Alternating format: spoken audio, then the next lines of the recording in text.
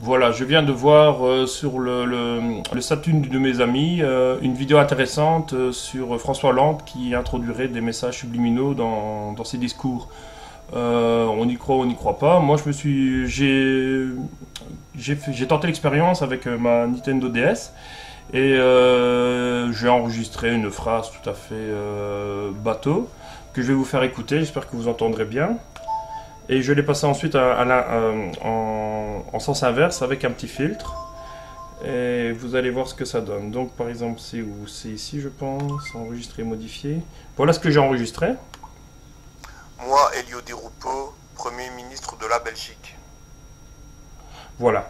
Et euh, donc euh, j'ai passé un, un petit fil dessus, j'ai ralenti un petit peu la vitesse, donc euh, la, le, la, enfin, la vitesse du le débit, je ne sais pas comment on appelle ça, et j'ai inversé en fait. Donc j'ai fait une inversion et voilà ce que ça donne. C'est quand même assez euh, troublant. Écoutez bien. Viens à moi, Priap, petit coquin. Viens à moi, Priap, petit coquin.